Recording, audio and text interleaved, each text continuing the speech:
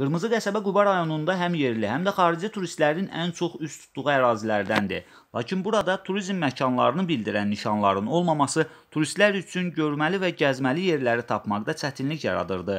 Lakin bundan sonra turistlər belə çətinliklə qarşılaşmayacaq. Çünki Dövlət Turizm Agentliyinin və İsrailin Azərbaycandakı səfirliyinin təşəbbüsü ilə turizm marşrutlarının inkişafı və təkmilləşdirilməsi məqsədi ilə Qırmızı qəsəbədə yeni turizm məlumat nişanları hazırlanaraq istifadəyə verildi. Turizm marşrutlarında yolların nişana alınması və işarələnməsi strategiyasına uyğun olaraq qəsəbənin müxtəlif ərazilərində 18 ədəd yeni nişanlar quraşdırılıb. Dövlət Turizm Agentliyi üçün eyni zamanda aidiyyəti digər qurumlar üçün çox əhəmiyyətlidir ki, turizmlə bağlı göstərilən xidmətlərin keyfiyyəti artırılsın. Və təbii ki, bu uzun müddət idi bu istiqamətlə bağlı işlər görülürdü və ölkənin bir sıra regionlarında artıq belə deyək, bu nişanlanma işlərlə bağlı işlərə başlanılıb. Qırmızı qəsəbədə görülən işlər də bunun tərkib hissəsidir. Biz pandemiya dövründə fürsətdən istifadə edib çalışırıq ki, infrastrukturlar eyni zamanda institusional məsələlərlə bağlı işlərimizi yekunlaşdıraq.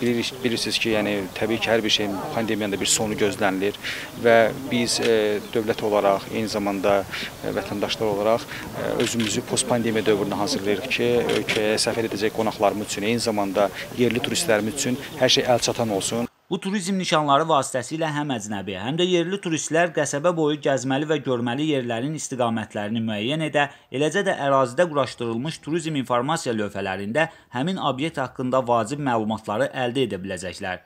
Yeni turizm nişanlarının istifadəyə verilməsi məqsədi ilə keçirilən tədbirdə çıxış edən İsrailin Azərbaycandakı səfirinin müavini Doron Peyer ölkələrimiz arasındakı dostluq münasibətlərindən söz açdı. O qeyd etdi ki, İsrail dövləti yalnız yəhudi icması ilə bağlı deyil, müxtəlif layihələrlə Azərbaycana dəstək göstərməkdən məmnundur.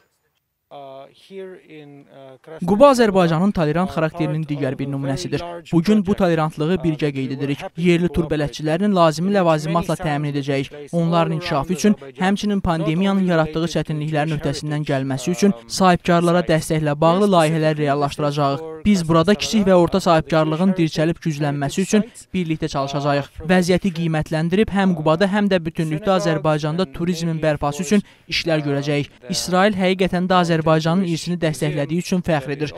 Bu yalnız yəhudi icması ilə bağlı deyil. Müxtəlif layihələrlə Azərbaycana dəstək göstərməkdən məmnunuq. Səfər çərçivəsində qonaqlar Qırmızı qəsəbə ilə tanış olub, burada tezliklə istifadəyə veriləcək dağ yəhudilərinin muzeyinə baxış keçirdi. Qeyd edək ki, yəhudilərin kompakt yaşadığı Qırmızı qəsəbədə iki sinaqoq, yəhudi dinini öyrədən dərnəklər, dağ yəhudilərinin muzeyi, turizm informasiya mərkəzi və bir çox görməli məkanlar var.